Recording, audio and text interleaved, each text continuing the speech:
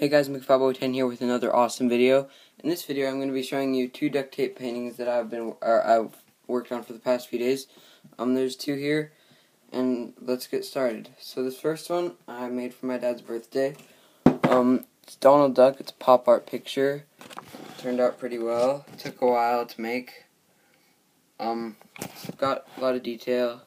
It took I think about two days to make, but it's pretty cool. Yep. And then this next one is definitely one of my favorites. It's a pop art again.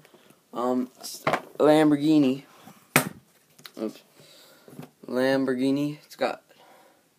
So it's got one of the cars. I'm not really sure which one, but I thought it was definitely one of the coolest pop art pictures on the internet. So, um, I decided to do that one. And then up there, just the light, Lamborghini, the Lamborghini logo. So that's really all I have to go over right now. Um, it, I also have a third canvas right here. I haven't put any duct tape over it or anything. It's still in the wrap or the, the plastic wrap.